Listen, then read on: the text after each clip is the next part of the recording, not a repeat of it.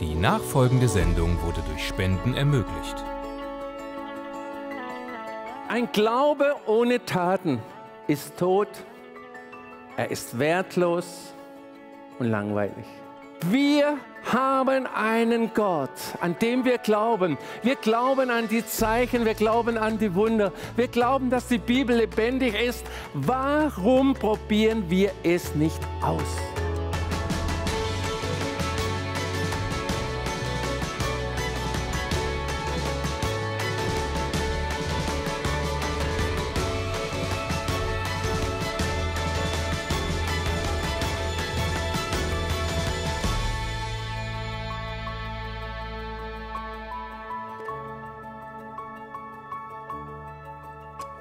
Auf dem Wasser gehen. Wer ist schon mal auf dem Wasser gegangen? Bestimmt mal im Keller, als der Keller voll war oder irgendwo im Garten, aber nicht so, wie wir das jetzt hier meinen. Ja, ich möchte ein paar Dinge erklären. Wie langweilig ist ein Glaube, mit dem wir nur rumsitzen und jammern? Stimmt's? Wie langweilig ist ein Glaube? Ach ja, weißt, und ach ja, und nee, und Kimmefotter, und oh, und ach, und wie langweilig ist das? Und die Welt begeistert sowas sowieso nicht. Wie gesagt, möchte ein paar Beispiele euch nennen. Ich habe hier mal eine Flasche mitgebracht, heute nicht zum Trinken, sondern zum was vorführen.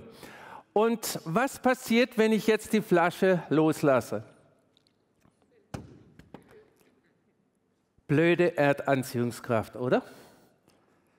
Ja, wenn ich jetzt reich wäre, wenn ich jetzt alles Geld der Erde hätte, dann könnte ich loslassen und die Flasche würde halten. Nee, es gibt Naturgesetze, die für alle gelten. Stimmt's? Es gibt Naturgesetze, wo, wo für alle dieselben sind, arm, reich, krank, gesund, egal welche Hautfarbe, gilt für alles. Da kann sich keiner irgendwo ähm, ja, drüber heben oder sagen, für mich gelten die nicht. Ja, und das ist dann das, was Schuld ist. Aber es gibt einen Glauben, über den möchte ich heute reden. Der Glaube setzt Naturgesetze außer Kraft, wenn es Gott zu seiner Verherrlichung tun möchte. In der Bibel gibt es einige Bibelstellen. Die eine Bibelstelle kennen wir, wo es heißt, Sonne und Mond, stehe still und stand einen ganzen Tag still. Es gibt das Erlebnis, am Roten Meer, das Meer teilte sich. Und es gibt auch die Bibelstelle von Philippus, wo es heißt, und er ward an einer anderen Stelle wieder gefunden. In unserer heutigen Zeit, wo man nicht mehr so fliegen soll, das wäre eine Möglichkeit zu fliegen. Und man wurde am Urlaubsort wieder gefunden. Ohne Frankfurt, ohne Einchecken, ohne Kofferübergewicht und so weiter. Also, es gibt wirklich Dinge, wo Naturgesetze außer Kraft gesetzt wurden von dem, der sie eigentlich geschaffen hat. Unser Gott, unser Schöpfer. Und wie geht das praktisch? Und ein praktisches Beispiel habe ich Isolde gebeten, uns das kurz zu erzählen. Ich möchte euch kurz eine Geschichte erzählen, die ich erlebt habe. Und zwar, als unsere Kinder noch sehr klein waren, äh, fuhr ich mit dem Auto in die Stadt und wollte einkaufen. Und da hat mich eine Fahrerin mit dem Auto gerammt und zwar an der Rückseite vom hinteren Reifen ganz bis nach hinten. Da war ein dicker Riss, ja, oder äh, Streifen und eine Delle. Und wir haben dann natürlich angehalten und äh, Versicherungssachen ausgetauscht. Und dann äh, war auch die Polizei zufällig äh, am Vorbeifahren. Die haben angehalten, haben den Unfall aufgenommen. Und äh, ja, dann, als ich dann wieder zu Hause war, habe ich das Auto in die Garage gestellt und habe gedacht, dass es nicht jeder sieht. Und dann war ich beim Daniel im Büro und habe gesagt, du, da ist etwas passiert, unser Auto ist kaputt, hat eine, einen Kratzer, einen Riesenkratzer und da guckt das Blech schon raus und äh, eine Delle und ja, ist nicht so schön. Er natürlich gleich losgelaufen in die Garage und hat das Auto äh, begutachtet. Und ich kam dann hinterher und er kam mir schon wieder entgegen und sagte, ähm, ich habe nichts gesehen. Dann sagte ich, das kann nicht sein, fahren wir das Auto raus auf den Hof. Haben wir gemacht und ich bin dreimal um das Auto herumgelaufen und habe nichts gesehen. Das Auto war vollständig in Ordnung, ohne Kratzer, ohne Delle, ohne irgendetwas. Ich konnte das fast nicht fassen. Ich habe dann der Frau angerufen, die mich gerammt hat und habe ihr erklärt, dass ich die Sache erledigt hätte und ich keine Ansprüche an sie habe. Und sie war total perplex und konnte es gar nicht verstehen, dass sie da so davon kommt. Ja, das war die Geschichte, die ich erlebt habe mit unserem Auto. Ja, du kannst das jetzt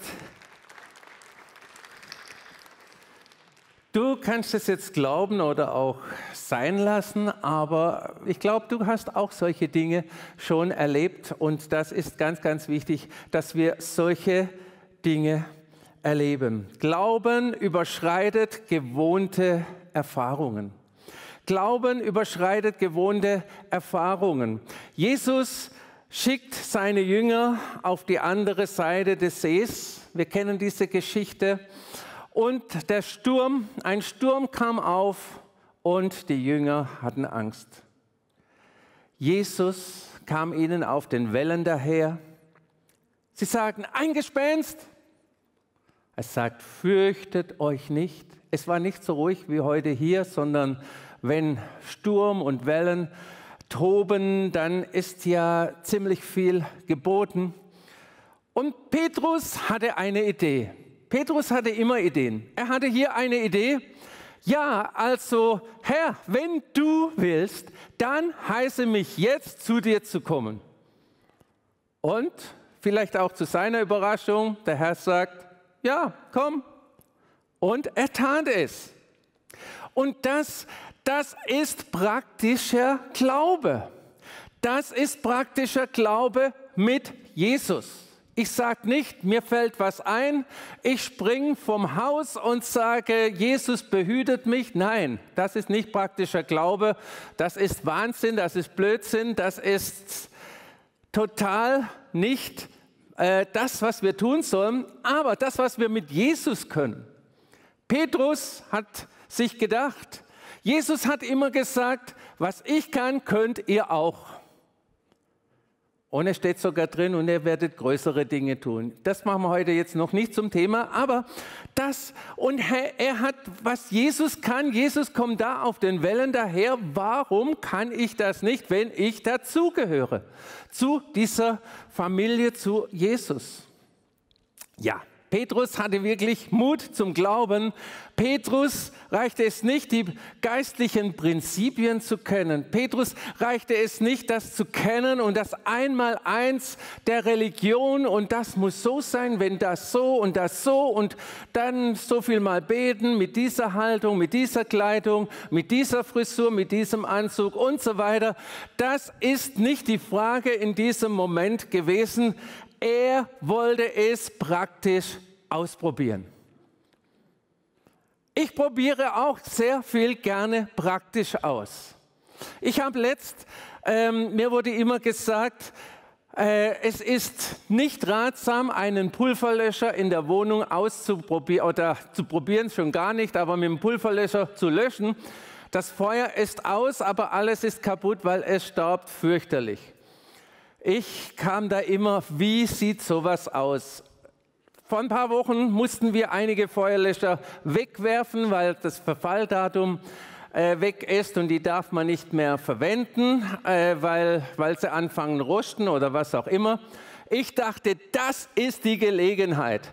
und ich bin hier auf den Rasen und habe mal so einen Feuerlöscher, Pulverlöscher einmal durchgedrückt. Das hat ausgesehen, wie wenn der ganze Rasen brennt und es raucht und qualmt und qualmt. Ja, dann wusste ich, jetzt weiß ich, wie ein Pulverlöscher funktioniert und wie es aussieht. Und Petrus reicht es nicht, irgendwo nur zu wissen, mit Jesus kann ich alles. Mit Jesus, er ist mein Heiler.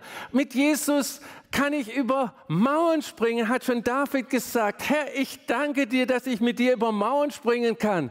Jetzt kommst du mal in die Situation, ich sage dir, und wichtig ist, dass Jesus mit dir ist, du darfst deinen Glauben ausprobieren. Nicht Jesus herausfordern, nein, ausprobieren. Oder ihr Männer, ihr kauft ja auch nicht ein Auto, das euch gefällt und sagt, ach, ich habe das Auto meines Herzens, habe ich in der Garage stehen. Nein, sondern ihr probiert es aus. Warum tun wir es nicht im Glauben, die ganze Dinge, die uns im Glauben versprochen sind? Warum tun wir das dort nicht? Ja, wir kommen zu Jakobus.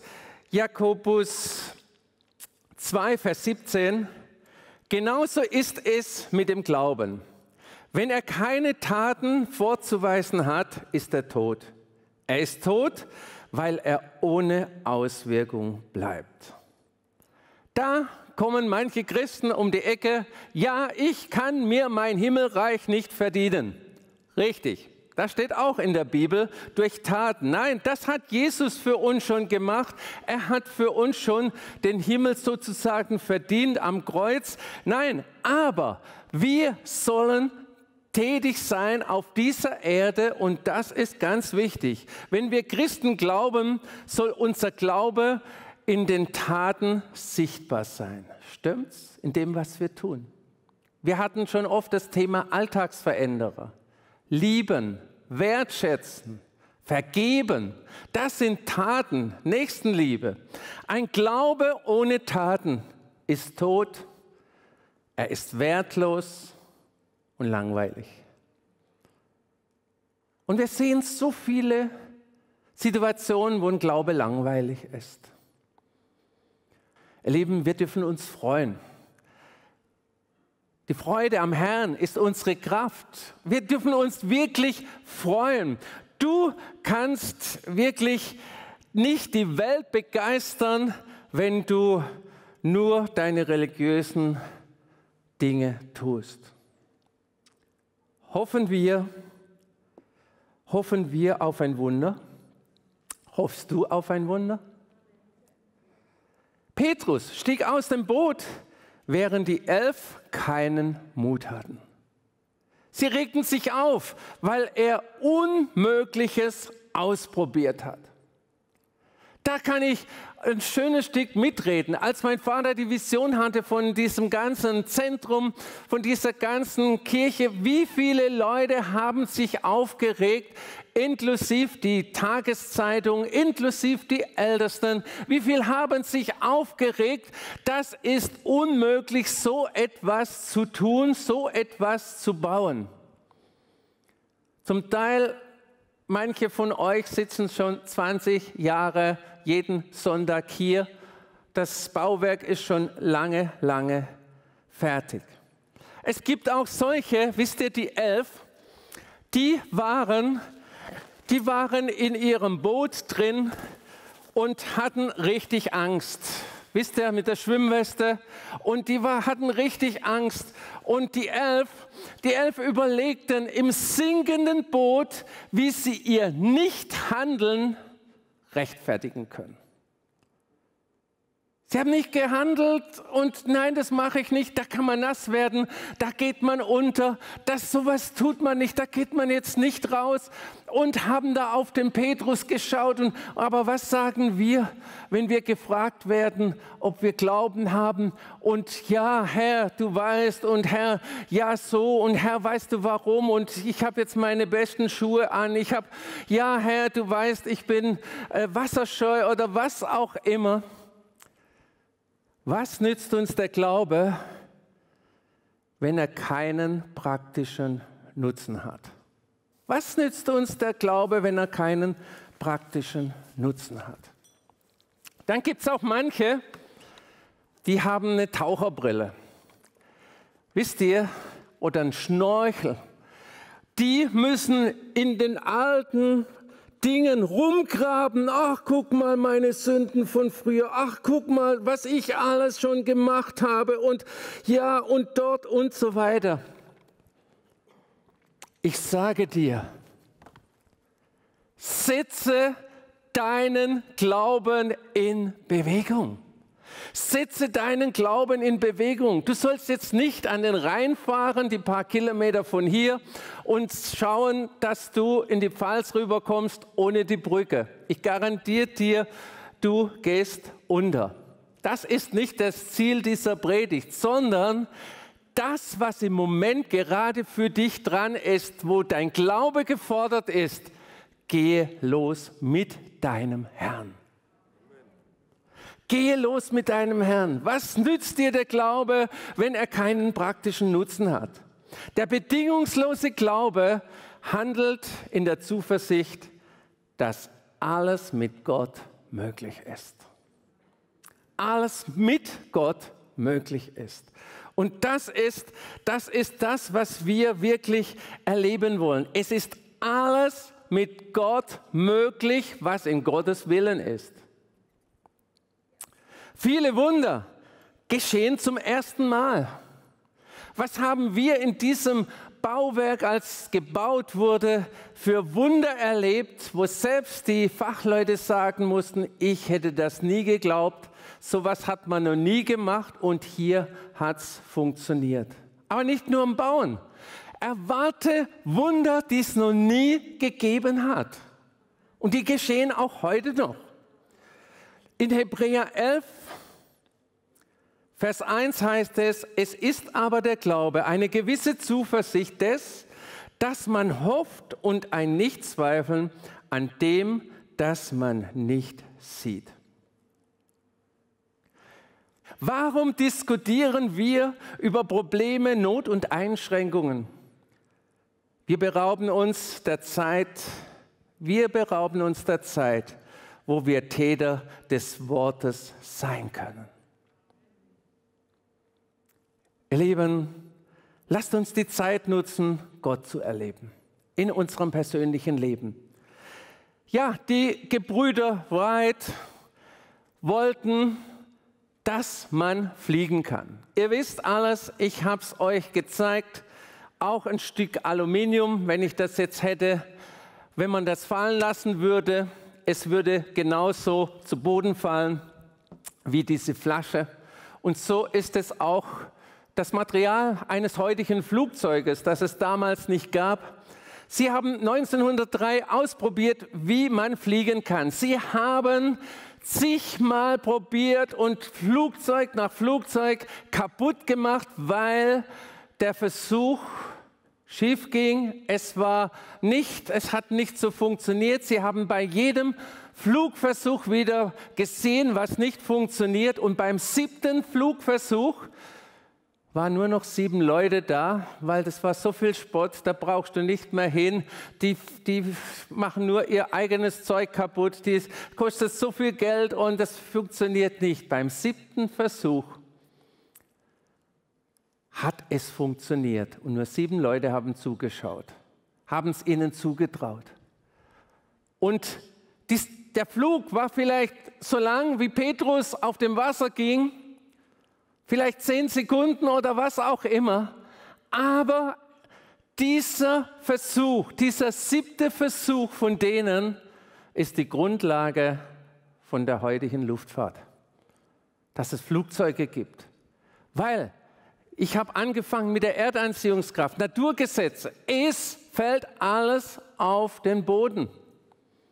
Es fällt alles nach unten, nicht nach oben, nach unten. Es fällt alles runter. Aber wenn man die Aerodynamik ausbaut, wenn man die Geschwindigkeit hinzufügt, dann auf einmal kann man die Erdanziehungskraft überwinden, wie es heute die Flugzeuge tun. 1800 irgendwas hat man nie gedacht, dass irgendwas mal fliegt, außer die Treppe runter. Es gibt heute viele Dinge, die noch nicht sind, aber vielleicht bist du der Erste, wo bei dir das Wunder geschieht. In deinem Leben für dich. Du musst jetzt nicht ein Flugzeug erfinden. Wie viele Versuche hast du schon gemacht in deinem Leben? Gibst du auf, bevor du angefangen hast? Wie oft geben wir auf, bevor wir angefangen haben? Wie geben wir auf? Warum geben wir auf, bevor wir angefangen haben? Wo setzt du deinen Glauben in die Tat um? Es ist nicht, dass jeden Sonntag in den Gottesdienst gehen. Nein, wir haben einen Gott, an dem wir glauben. Wir glauben an die Zeichen, wir glauben an die Wunder. Wir glauben, dass die Bibel lebendig ist. Warum probieren wir es nicht aus? Der Petrus wurde nass, weil, weil sein, Glaube, sein Glaube währenddem ein Stück zu Bruch ging. Aber er hat es ausprobiert, die anderen konnten nichts davon sagen. Zuschauer gibt es im Reich Gottes viel zu viel. Und ihr Lieben, lasst uns wirklich mal unseren Glauben aufpolieren und wirklich die Dinge tun, wo Jesus sagt, komm, mach es, komm in meine Arme. Physik wurde außer Kraft gesetzt. Wir müssen eigene Schritte aus dem Boot machen und erleben, wie das Wasser trägt. Wir können so vielen Wasserwanderer zuschauen. Wir können so viel Wasserwandern zuschauen. Wisst ihr, so viele im Reich Gottes, die, die tolle Sachen machen und der Pastor und die Gemeinde und dieser Worship. Wir können so viele Dinge tun und können ihre Geschichte hören, wie sie Gott erlebt haben. Wir können im Sonntag, am Sonntag drei YouTube-Videos sehen von den besten Predigten. Wenn du nicht den Schritt aus dem Boot tust, wirst du Gott nicht erleben. Es reicht nicht, wenn du die zehn besten Predigten der Welt kennst oder die zehn besten äh, Pastoren oder Pastoren dieser Welt kennst oder die zehn besten Worships-Leiter äh, äh, kennst oder was auch immer. Wenn du nicht den Schritt aus dem Boot tust, wird es dir nicht helfen. Amen. Wo sind deine auf dem Wasser Wanderungen zu Jesus hin. Ja, Herr, mit dir will ich es wagen. Nicht nur ein Leben, sondern auch wirklich Dinge, wo du genau weißt, Gott kann es, Gott will es, aber keiner hat es getan.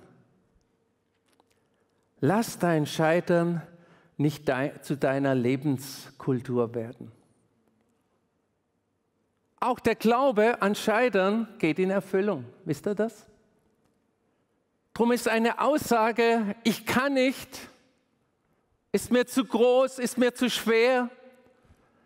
Eine Aussage, wo du die Bestätigung findest, weil du daran glaubst, dass du es nicht kannst, dass Gott dir nicht hilft und alles, was du aussprichst. Und dann geht dein Scheitern in Erfüllung und du sagst, wo ist Gott? Wo ist Gott?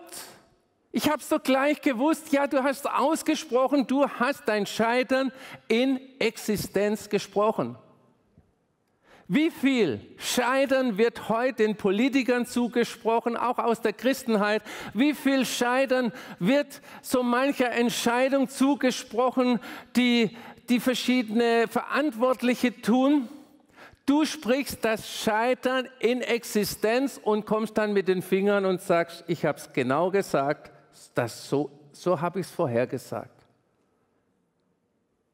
Sprich Leben in Existenz, sprich Lösungen in Existenz und Lösungen gibt es nur mit dem lebendigen Gott.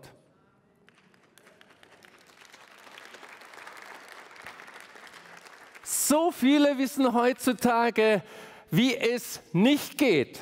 So viele wissen heutzutage, wie Fehler funktionieren und was Fehler sind. Mag es sein, dass das Fehler sind, aber indem wir die Fehler äh, nur benamsen, ist noch keine Lösung da. Lasst uns mit dem Reich Gottes, lasst uns mit der Kraft des Glaubens dieser Welt zeigen, dass es einen Gott der Lösungen gibt. Und die Lösungen kommen nicht, wenn wir im Boot sitzen und schauen, wie die Welt untergeht. Die Lösungen kommen, wenn wir aus dem Boot steigen und wirklich im Glauben vorwärts gehen, dass die Welt sagt, das begeistert mich, das muss der lebendige Gott sein.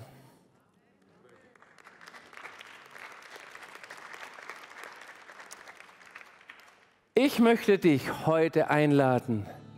Wag es. Steig mit deinem Glauben aus dem Boot aus, wenn Jesus sagt, komm. Amen. Jetzt auch für Sie. Das Magazin Freude am Leben gibt es jeden Monat neu mit ermutigenden Artikeln für Ihren Alltag und aktuellen Infos aus dem Missionswerk. Und wenn Sie das Magazin zum ersten Mal bestellen, erhalten Sie das Buch Du bist wertvoll von Daniel Müller als Geschenk dazu. Gleich kostenlos bestellen.